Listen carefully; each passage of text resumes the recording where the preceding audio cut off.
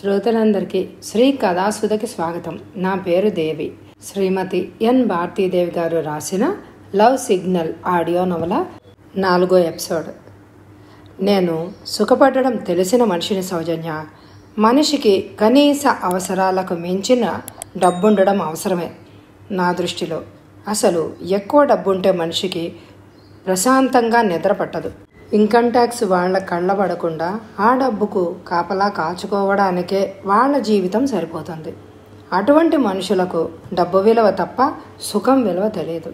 ఉదాహరణకు ఆ ఇంజనీర్ గారిని చూడు డాక్టర్ని చూడు. వాళ్ళు వేలకు వేలు సంపాదిస్తున్నారు. అంత సంపాదించినా వాళ్ళు ఏం సుఖపడుతున్నారు? వాళ్ళ ఇంటికి చేరేదే అర్ధరాత్రి దాడుతుంది అలసిపోయి నిద్రపోతారు. వాళ్ళకు హాయిగా ప్రశాంతంగా ఆనందాన్ని అనుభవించే తీరిక ఓపిక ఎక్కడుంది? అందుకే నేను సంపాదించడం మానేసి హాయిగా నిన్ను సుఖపడుతున్నాను నేను సుఖపడుతున్నాను. నాలాంటి రసికుడైన వ్యక్తి భర్తగా దొరికినందుకు నీ అదృష్టానికి మురిసిపోవాల్సింది పోయి డబ్బు డబ్బు అంటూ ఏడుస్తావేంటి? నీ కర్మ నీకు సుఖపడ్డం జీవితాన్ని అనుభవించడం తెలియదు. మీ పనికిరాని తెలివితేటలకు మీరు మురిసిపోవలసిందే తప్ప సంపాదించడం చేతగాకపోయినా ఉపన్యాసాలకి ఏమీ తక్కువ లేదు. ఎప్పుడు అదే జాస. పగలు లేదు రాత్రి లేదు అంది సౌజన్య విసుగ్గా. నువ్వలా విసుక్కుంటే నా మూడు చెదిరిపోతుంది. నీకు తెలియదు సౌజన్య నా మాట విను. మనిషి దృష్టి డబ్బు మీదనే కేంద్రీకరిస్తే జీవితంలో విలువైన వాటి అన్నిటికీ దూరం కావాలి. భార్యాభర్తల మధ్య ఉండే అనురాగానికి ఈ ప్రపంచంలో ఇంకేది సాటి రాదు. నీకు కొన్ని విషయాలు తెలియవు. ఇన్ని సినిమాలు చూస్తున్నావు ఇన్ని నవలలు చదువుతున్నావు ఆ మాత్రం అర్థం చేసుకోలేవు. ఒక లక్షాధికారి కూతురు ఒక నిరుపేదను ప్రేమిస్తుంది. తమ అంతస్తుకు తగినవాడు కాదని ఆ అమ్మాయి అతని పెళ్ళి చేసుకోవడానికి ఆ అమ్మాయి తల్లిదండ్రులు అంగీకరించారు. అప్పుడైనా వాళ్ళను ఆస్తిపాస్తులను అన్నిటినీ వదులుకొని అన్ని సంబంధాలు తెంచుకొని తను ప్రేమించిన పేదవాని కోసం వెంపర్లాడుతుంది వెంటబడుతుంది. ఎందుకు?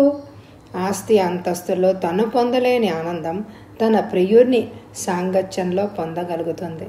ఇలాంటి ఉపన్యాసాలు విని విని నాకు విసుగు పుడుతోంది. మీకు పుణ్యం ఉంటుంది. ఒక్కరోజు నన్ను ప్రశాంతంగా నిద్రపోనియండి. విసుగ్గా అంది సౌజన్య. నేను ఉమర్ ఖయ్యాం గారి శిష్యుణ్ణి. నిన్న అన్నది రాదు రేపన్నది లేదు. ఉన్నది నేడే అన్నది నా సిద్ధాంతం. ఒక్క రాత్రిని వృధాగా గడపడం నాకు అలవాట్లేదు. గడిచిపోయిన రోజు డబ్బు పెట్టి కొనుక్కుందామన్నా రాదు.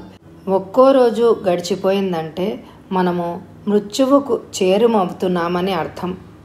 సౌజన్య మొహాన్ని తనకి అభిముఖంగా తిప్పుకొని ఆమె నోటిని తన నోటితో మూశాడు. అబ్బా నా ప్రాణం తీస్తున్నారు. ఇందుకు తప్ప మీరెందుకు పనికిరారు? నేను ప్రత్యేకంగా ఇందుకే పనికొస్తున్నందుకు సంతోషించు. కొంతమందికి సుఖపడడానికి టైం దొరకదు. ఇంకొంతమందికి అవకాశం దొరకదు. అన్నీ ఉన్నా నీకేమో అనుభవించడం తెలియదు అంటూ మంచం మీద నుంచి లేచి బెడ్రూమ్ కిటికీ రెక్క మూయబోయి ట్యూబ్లైట్ కాంతిలో బాల్కనీల్లో నిలబడి ఉన్న శశిని చూశాడు. ఒక్క నిమిషం అలాగే నిల్చున్నాడు. అది గమనించిన శశి గదిలోకి వెళ్ళిపోయింది. ఆ రోజు శశి వాళ్ళ ఇంటికి సౌజన్య వచ్చింది. వచ్చిన దగ్గర నుంచి తన భర్త తననెంతగా ప్రేమిస్తున్నాడో పగలు రాత్రి భేదం లేకుండా కౌగిలిలో బంధించి ఎంతగా విసిగిస్తాడో వర్ణించి వర్ణించి చెప్పింది. సౌజన్య వెళ్ళిపోయిన శశి మనసులో ఆమె మాటలే మారు మ్రోగిపోతున్నాయి. ఆమె భర్త ఎంత అనుకూలంగా ఉంటాడో ఆమె మాటలే చెప్తున్నాయి. భార్యని సుఖపెట్టగలిగిన అటువంటి భర్త దొరకడం ఆమె అదృష్టం. ఆమె అదృష్టం ఆమెకు తెలియడం లేదు. అమాయకురాలు. డబ్బే లోకం అనుకుంటోంది. ఎన్ని లక్షలు డబ్బుండి నేనేం సుఖపడుతున్నాను? డబ్బుతో కొనుక్కోలేని అపురూపమైనది భర్త అనురాగం. ఆ అనురాగానికి మించిన ఆనందం ఆడదానికి మరొకటి ఉండదు. ఆ అనురాగాన్ని పుష్కలంగా పొందగలిగితే ఆడదానికి అంతకు మించిన అదృష్టం లేదు. మదన్ లాంటి మనస్తత్వం నా భర్తకు కూడా ఉంటే ప్రతిరోజు పూలతో పూజించుకునేదాన్ని. ఒక్కో జంటను ఒక్కో విధంగా దయ చూపిస్తాడు భగవంతుడు అనుకుంది శశి. ఆమె ఆలోచన స్రవంతి నుంచి తేరుకోకముందే ఆకాశంలో చంద్రుడు మెరిశాడు. వెన్నెల వెలుగులు నేలంతా పరుచుకుంది. ఆ కాంతిలో ఆమె కళ్ళు శ్రావణ మేఘాలయ్యాయి. ఎన్ని ఇలాంటి వెన్నెల రాత్రులు నా జీవితంలో వృధాగా గడిచిపోయాయో. నాకు ఇష్టమైన టైంలో నా భర్తతో సరదాగా గడిపే అదృష్టం నాకు లేదు. ఇంటి దగ్గర భార్య అనే ఒక మనిషి ఉందని ఆమె ఆయన కోసం ఎదురు చూస్తూ ఉంటుందన్న విషయమే ఆయనకు గుర్తుండదు. భార్య కూడా కొన్ని కోరికలు సరదాలు ఉంటాయని. అవి భర్తగా ఆయనే తీర్చాలని ఆయన ఎప్పుడూ ఆలోచించడు. కూర్చొని తిన్నా తరగని ఆస్తి ఉంది. ఉన్నది ఒక్క బాబు. ఇంటిని పెళ్ళాన్ని నిర్లక్ష్యం చేసి సంపాదించే ఈ డబ్బెందుకు? మరొక జన్మంటూ ఉంటే డాక్టర్ని మాత్రం భర్తగా ఇవ్వకు భగవాన్ అంటూ తన బాధను కనిపించని ఆ దేవుడికి నివేదించుకుంటూ అలాగే కూర్చుంది. రోజు సాయంత్రం ఐదు గంటల నుంచి భర్త హాస్పిటల్ నుంచి వచ్చే వరకు బాల్కనీలో గడపడం శశికి అలవాటు.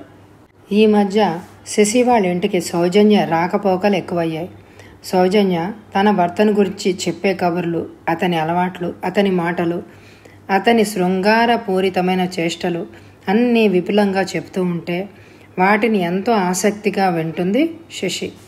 అది గమనించిన సౌజన్య ఉన్నదానికి ఇంకొంత జోడించి చెప్పడం మొదలుపెట్టింది. ఆమె చెప్పే మాటలన్నీ శశి మనసులో హత్తుకుపోతున్నాయి. తనకు తెలియకుండానే అప్పుడప్పుడు మదన్ను గమనించడం మొదలుపెట్టింది శశి. ఆమె తన వైపు ప్రత్యేకంగా చూడడం మదన్ గమనించాడు. అప్పటి నుంచి అతను కూడా ఆమె బాల్కనీలో ఉన్నంతసేపు తను బాల్కనీలో తిరగడం రాత్రి టైంలో కూడా బెడ్రూమ్ కిటికీ తెరిచి కుర్చీలో కూర్చుని కిటికీలోంచి శశి వాళ్ళ బెడ్రూమ్ వైపు చూడడం అలవాటు చేసుకున్నాడు. ఆ రోజు అలాగే అలవాటు ప్రకారం బాల్కనీలో కూర్చుంది శశి. ఎక్కడి నుంచి చూస్తే మదన్ వాళ్ళ బంగళా ఆవరణ అంతా కనిపిస్తుంది. సౌజన్య నాలుగు రోజుల క్రితమే ఊరెళ్ళింది. మదన్ రిప్రజెంటేటివ్ అద్దెకుంటున్న భాగం వైపు నిల్చుని ఉన్నాడు. అతను ఎందుకు వాళ్ళ వరండా వైపు వచ్చాడు అనుకుంటూ చూసి చూడనట్టు అటువైపు చూస్తూ కూర్చుంది శశి. ఇంతలో రిప్రజెంటేటివ్ భార్య వసంత వరండాలోకి వచ్చింది. వాళ్ళిద్దరూ ఏదో మాట్లాడుకుంటూ నిల్చున్నారు. భార్య ఊరెళ్ళిందట కదా. ఆవిడ మీద వల్ల విసురుతున్నాడు కాబోలు ఈ కృష్ణుడు. కసిగా అనుకుంది. ఒక్కో క్షణం శశి మనసులో జలసి కదలాడింది. ఈ భావం ఒక్క క్షణం మాత్రమే. అతనెవరు? నేనెవరిని? అతను ఎవరి మీద వల విసిరితే మాత్రం నాకెందుకు అనుకుంటూ అక్కడ కూర్చోవడం ఇష్టం లేక బెడ్రూమ్లోకి వచ్చి పడుకుంది శశి. హాస్పిటల్ నుంచి క్లబ్కు వెళ్ళి అక్కడి నుంచి ఇంటికి వచ్చేసరికి శ్రీకాంత్ టైం రాత్రి పదకొండు దాటింది. అప్పటి వరకు శశి మేలుకొనే ఉంది.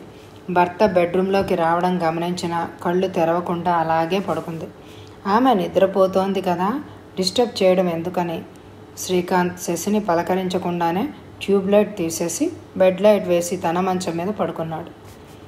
అతను తన దగ్గరకు వచ్చి తనను లాలనగా నిద్ర లేపుతాడని చేతుల్లోకి తీసుకుని అనురాగంగా హృదయానికి హత్తుకుంటాడని ఏమేమో ఊహించుకుంటూ పడుకున్న ఆమె ఊహలన్నీ తారుమారయ్యాయి ఉక్రోషంతోనూ అంతకు మించిన కోపంతోనూ స్థిమితంగా పడుకోలేక అసహనంగా అట్నుంచి ఇటు తిరిగి పడుకుంది. శశి! శ్రీకాంత్ మృదువుగా పిలిచాడు. నువ్వు ఇంకా నిద్రపోలేదా? తమరు ఇంటికి వచ్చి దర్శనం ఇవ్వందే నిద్ర ఎలా పడుతుంది? మంచం మీద నుంచి లేచి కూర్చుంటూ కోపంగా అంది. నువ్వు నిద్రపోతున్నావేమో డిస్టర్బ్ చేయడం ఎందుకని పిలవలేదు. సారీ శశి. ఆమె వైపు తిరిగి ఆమె భుజం చుట్టూ చేయి వేస్తూ అన్నాడు. అతని చేతులు విసురుగా తొలగించి కోపంగా దూరంగా జరిగి కూర్చుంది. సీతాలు నువ్వు భోం చేయలేదని చెప్పింది. ఎందుకు చేయలేదు? శశి మాట్లాడలేదు. ఏమిటంత గంభీరంగా ఆలోచిస్తున్నావు? ఏం లేదు అంది శశి ముక్తసరిగా. ఆకలిగా లేదంటూ వారానికి నాలుగు పూటలు భోజనం మానేస్తున్నావు. ఇలా చేస్తే నీ ఆరోగ్యం పాడవదు మృదువుగా మందలించాడు. నా మీద ఎంత ప్రేమ? నా ఆరోగ్యం పట్ల ఎంత శ్రద్ధ? వ్యంగ్యంగా అంది. నీ మీద నాకెంత ప్రేమ ఉందో చెప్పడానికి నాకు మాటలు చాలవు. శశికి దగ్గరగా జరుగుతూ అన్నాడు. కోపంగా మొహం తిప్పుకుంది శశి. ఎందుకంత కోపంగా ఉన్నావు? ఆమె నిర్లిప్తంగా నవ్వింది. జీవితం అంటే సంపాదనే కాదండి. విషాదంతో తొండకిసలాడుతూ ఆమె కంఠం భారంగా ఉంది. ఈ రోజు ఎందుకో కొత్తగా కనిపిస్తున్నావు. ప్రవర్తన కూడా భిన్నంగా ఉంది. మీ ప్రాక్టీసు బాగా పెరిగింది కదూ? అవును. మీరు బాగా సంపాదిస్తున్నారు కదూ? అవును అవసరానికి మించి. ఏమండి? ఒక్క మాట అడుగుతాను సమాధానం చెప్తారా? శశి జీవితం అంటే ఏంటి? సంపాదించడమేనా? ఆమె కనుల్లో నీలి నీడలు కదలాడాయి. ఇదేం ప్రశ్న శశి? నువ్వు ఎందుకో బాధపడుతున్నట్లు కనిపిస్తున్నావు. ఎందుకు? జీవితం వ్యర్థమైందని నా బ్రతుకు అడవి కాచిన వెన్నెలలాగా తయారైందని ఆమె కళ్ళల్లో చివ్వున నీళ్ళు చిమ్మాయి. అంటే అతని బ్రూకుడి ముడిపడింది. సుఖం లేని సంపాదన ఎందుకు? హాయిగా ఎయిర్ కండిషన్ గదిలో గడపడం తిరగడానికి కార్లు బంగ్లా ఇంటి నిండా నౌకర్లు ఖరీదైన చీరలు నగలు అన్నీ నీకున్నాయి. ఇది సుఖమైన జీవితం కాదా? నా దృష్టిలో కాదు. అసలు నీ దృష్టిలో సుఖానికి నిర్వచనం ఏమిటి? ఆమెను చేతుల్లోకి తీసుకుంటూ మృదువుగా అడిగాడు. మీరు నాతో గడిపేది అతి తక్కువ. ఒక్కోసారి శృంఖలాలన్నిటినీ తెంచుకొని ఎక్కడికో వెళ్ళిపోవాలని అనిపిస్తూ ఉంటుంది. జీవితం అంటే విసుగుపుడుతూ ఉంటుంది. శశి కళ్ళ వెంట దారాలుగా కన్నీళ్ళు. ఆమె మనసులోని ఆవేదనంతా ఆమె మొహంలోనే కనిపిస్తోంది. పెదవులు అదురుతున్నాయి. ఆమెను ఓదార్చే ప్రయత్నం కూడా చేయలేదు అతను. నీ మనసులో బాధకు కారణం చెప్పకపోతే నాకెలా తెలుస్తుంది చెప్పు? అనునయంగా ఆమె తల నిమురుతూ మృదువుగా అన్నాడు. ఆ అనునయానికి ఆమెకు దుఃఖం అధికమైంది. కన్నీటితో తడిసిన ఆమె ముఖాన్ని చూడగానే అతని మనసులో ఆమె పట్ల జాలి ప్రేమ వెల్లువలాగా పొంగాయి ఆ వెల్లువలో ఆమెను తడపాలన్నంత ఆవేశం ఆమెను గుండెల మీదకు లాక్కున్నాడు. ఆమె ముఖాన్ని తన ముఖానికి దగ్గరగా చేర్చుకున్నాడు. ఇప్పుడు చెప్పు నీ బాధ ఏంటో మన పెళ్ళై ఎన్ని సంవత్సరాలైంది? నెల క్రితమేగా మ్యారేజ్ డే జరుపుకున్నాం. ఇప్పటికి నాలుగు మ్యారేజ్ డేలు జరుపుకున్నాం అవునా? అవును ఇన్ని సంవత్సరాల్లో మన ఇద్దరం కలిసి సరదాగా ఎక్కడికైనా వెళ్ళామా? నేను సినిమాకు వెళ్ళాలంటే డ్రైవర్ కారులో థియేటర్ దగ్గర డ్రాప్ చేసి వస్తాడు. షికార్కి వెళ్ళాలంటే సీతాల్ని తోడు తీసుకెళ్ళాలి. షాపింగ్కి వెళ్ళాలంటే అంతే. బీరువాలో డబ్బుంది కదా ఎన్ని వేలు కావాలో తీసుకువెళ్ళు అంటారు. అంతే కదా? ఖరీదైన నగలు విలువైన చీరలు తెస్తారు. అవన్నీ ఎందుకండి? ఎవరి చూసి ఆనందించడానికి? ఆడదానికి కావాల్సింది నగలు చీరలేనా? ఇంకేం అక్కర్లేదా? నేను నోరు తెరిచి ఎక్కడికైనా వెళ్దామండి అని అడిగితే నీకు తెలియందేముంది శశి? రావడానికి నాకు కుదరదు. నా వృత్తి ధర్మం అటువంటిది అంటారు. బ్రతుకు తెరువు కోసం అందరూ ఏదో ఒక వృత్తిని ఎన్నుకుంటారు. వృత్తి కోసం ఎవ్వరూ జీవితాన్ని అంకితం చేసుకోరు. మీకెంతసేపు డబ్బు డబ్బు అదే మీ లక్ష్యం. ఆమె కళ్ళల్లో నీళ్ళు గిర్రున తిరిగాయి. ఈరోజు నీకేమైంది శశి? ఏం కాలేదు. తెలిసిన విషయానికి ఎందుకు బాధపడుతున్నావు? అంతకంటే చేయగలిగింది ఏమీ లేక ఓదార్పుగా ఆమె తల నిమురుతూ అలాగే పడుకున్నాడు. ఏమండి మన ఇద్దరం కలిసి ఎక్కడికైనా వెళ్ళి ఒక నెల రోజులు ఉండొద్దాం. ఇప్పుడు ఎలా వీలవుతుంది? నేను లేకపోతే హాస్పిటల్ ఎవరు చూసుకుంటారు? ప్రాక్టీస్ మానేయండి. ఉలిక్కి పడ్డాడు శ్రీకాంత్. ఒక్క విషయం ఆలోచించండి. మనిషి డబ్బుతోనే అన్ని సుఖాలు అనుభవించవచ్చు అనుకుంటే మా నాన్నగారు లక్ష రూపాయల కట్నంతో నన్ను మీకు ఇచ్చేందుకు పెళ్ళి చేస్తారు. అపురూపంగా పెంచుకున్న నన్ను నా వెనకున్న ఆస్తిని మీకు అప్పగించింది. మీరు నన్ను సుఖపెడతారనే కదా? ఉదయం ఎనిమిది గంటలకు బయటికి వెళ్తే మళ్ళీ తిరిగి రావడం ఏ అర్ధరాత్రికో? రోజంతా నగలు చీరలు చూసుకుంటూ బీర్వాలోని నోట్ల కట్టలు లెక్క పెట్టుకుంటూ ఈ బంగ్లాకు కాపలా కాచే నమ్మకమైన మనిషిలా గడుపుతున్నాను. నేను చిన్నతనం నుంచి ఖరీదైన జీవితాన్నే గడిపాను. నాకు కావాల్సింది ఈ జీవితం కాదు. మీ ప్రేమ మీ అనురాగం మీ సహచర్యం. మీ నుంచి నేను కోరుకునేవవే. అవే శశి చాలా ఆవేశంగా ఉందని గ్రహించుకున్న శ్రీకాంత్ ఇంకేం మాట్లాడలేదు. ఆమెకు ఎంత త్వరగా కోపం వస్తుందో అంత త్వరగా పోతుంది. ఆమె బలహీనతలన్నీ అతనికి తెలుసు. ఆమెకు అనుకూలంగా మాట్లాడుతూ ఎప్పటికప్పుడు ఆమె కోపాన్ని పోగొట్టి తనతో రాజీ పడేలాగా చేస్తూ ఉంటాడు. సన్నగా మొదలైన తుంపర అర్ధగంట గడిచేసరికి కుంభవృష్టిగా కురవడం మొదలుపెట్టింది. వర్షంలో నిలువున స్నానం చేస్తున్నాయి వృక్షాలు. ఆకాశం దట్టమైన మేఘాలతో నిండి అదోలా ఉంది. వర్షంతో తడిసిన నేల నుంచి ఒక రకమైన వాసన వస్తోంది. కిటికీ దగ్గర కూర్చొని వర్షంలో తడుస్తున్న ప్రకృతిని చూస్తోంది వసంత. తలుపు మీద ఎవరో తడుతున్న శబ్దం. పొరపాటుగా విన్నానేమో అని అనుకుంది. అలాగే కూర్చుంది. ఒక్క నిమిషం తర్వాత మళ్ళీ అదే శబ్దం. లేచి తలుపు తెరిచింది వసంత. ఎదురుగా నిల్చునున్న మదన్ను చూసి ఒక్క క్షణం నివ్వరిపోయింది. ఎందుకు తలుపు తట్టారు? అన్నట్టు చూసింది అతని వైపు. అతని చూపులు ఆమె మొహం మీద అతుక్కుపోయినట్లుగా నిలిచాయి. ఒళ్ళంతా తేళ్ళు జర్రలు పాకుతున్నంత కంపరంగా ఉంది ఆమెకు. ఆమె అందాన్ని కళ్ళతోనే తినేస్తున్నట్టుగా ఉన్నాయి అతని చూపులు. చీత్కారంగా చూసింది అతని వైపు ఆమె. వర్షంగా ఉంది కదా. బయటికి వెళ్ళడానికి వీల్లేదు. మీ వారు శేఖర్ గారు ఉన్నారేమో కార్డ్స్ ఆడుకోవచ్చని వచ్చాను. ఆయన లేరండి ఉదయమే ఊరెళ్ళాడు. అక్కడ నుంచి కదిలితే తలుపులు మూసేసి లోపలికి వెళ్ళొచ్చు అన్నట్టు అసహనంగా నుంచింది. శేఖర్ గారు ఎప్పుడు ఊళ్ళో ఉన్నట్టే కనిపించరు? ఆమె కళ్ళల్లో కళ్ళు పెట్టి చూస్తూ అన్నాడు మదన్. ఆయన ఉద్యోగం అటువంటిది ముక్తసరిగా ఉంది. తాజాగా మంచులో తడిసిన అరవిచ్చిన గులాబీలాగా ఉన్న ఆమె సౌందర్యం అతని మతిని పోగొడుతోంది. అడుగులు నేలకు అతుక్కుపోయినట్టుగా వెళదామన్న అక్కడి నుంచి కదలడం లేదు. మా మిస్సెస్ ఊరెళ్ళి వారం రోజులైంది. వర్షం మూలంగా పని మనిషి కూడా రాలేదు. మీరు మరోలా భావించకపోతే ఒక కప్పు వేడి టీ ఇవ్వండి. నొప్పితో తల బద్దలైపోయేలాగా ఉంది.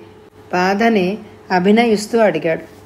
అతని అతి చనువుకు ఆమెకు కోపం వచ్చింది అయినా నిగ్రహించుకుంది. అతను ఇల్లుగల ఆయన కోపంగా మాట్లాడితే ఇల్లు ఖాళీ చేయమంటాడేమో అని.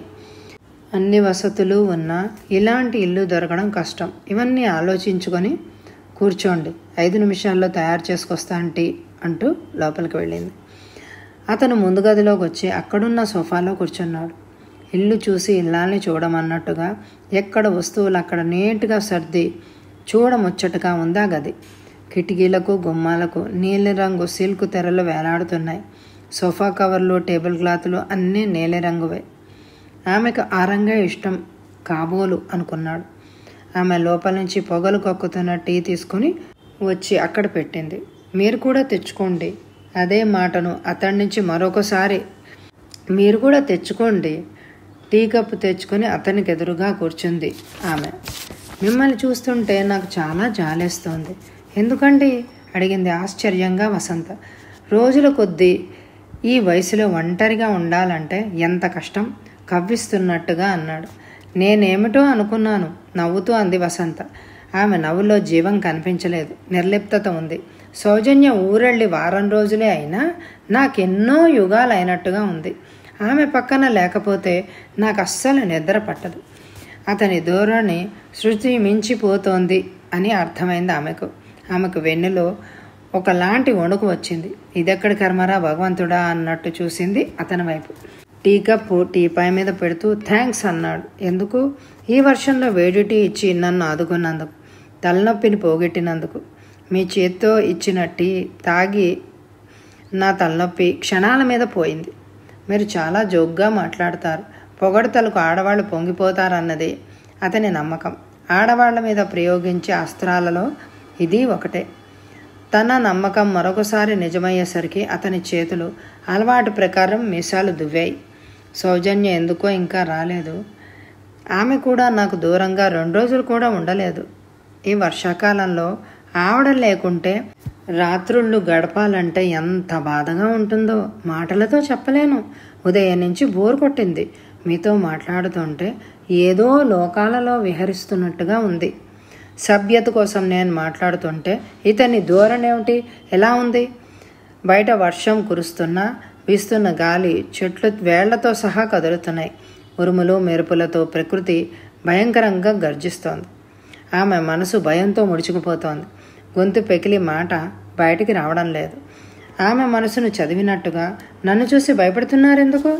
మిమ్మల్ని నమిలి మింగేస్తాను అని అనుకున్నారా? మిమ్మల్ని చూసి నేనెందుకు భయపడతాను? కలవర పాటను కప్పిపుచ్చుకుంటూ అంది. నన్ను వెళ్ళిపోమంటారా? వెళ్ళమని చెప్పడానికి సంస్కారం అనే తెర అడ్డు వచ్చింది. కూర్చోమని చెప్పడానికి అతను చూపులు కంపరాన్ని కలిగిస్తున్నాయి. బయట వాతావరణం మరింత భయాన్ని కలిగిస్తూ ఉంటే ఒక నిర్ణయానికి వచ్చిన దానిలాగా. ఆయన ఇంట్లో లేని సమయంలో మనం ఇలా కూర్చుని మాట్లాడుకోవడం ఎవరైనా చూస్తే బాగుండదు బయట మగవాళ్ళతో మాట్లాడే అలవాటు నాకు లేదు అంది కిటికీలోంచి బయటకు చూస్తూ. అతను ఆమెనే చూస్తున్నాడు. పాల మేగడ కన్నా మృదువైన చెక్కిళ్ళు మీనాల్లాంటి రెపరెపలాడుతున్న విశాలమైన కళ్ళు ఆకర్షణీయమైన అవయవాల పొందిక పసితనపు ఛాయలు పూర్తిగా తొలగిపోతున్నట్లు అమాయకమైన ఆమె మొహం చూస్తుంటే మృదువైన ఆమె పెదవులను ముద్దు పెట్టుకోవాలన్నంత కసి పెరుగుతోంది అతనిలో. భయంకరంగా ఉరుము ఉరిమిది ఊపిరి బిగబట్టి కూర్చుంది వసంత. అతనిలో టెన్షన్ పెరుగుతోంది. అంతలో పని మనిషి పిలుపు వినిపించి తేలిగ్గా ఊపిరి పీల్చుకుంది వసంత. అతను తన వాటా వైపు నడిచాడు. లవ్ సిగ్నల్ ఆడియో నవల నాలుగో ఎపిసోడ్ సమాప్తం. వచ్చే ఎపిసోడ్లో కథ కొనసాగుతుంది. ఈ నవల మీకు నచ్చితే తప్పకుండా నా ఛానల్ని లైక్ చేయండి సబ్స్క్రైబ్ చేయండి అందరికీ షేర్ చేయండి. ధన్యవాదాలు.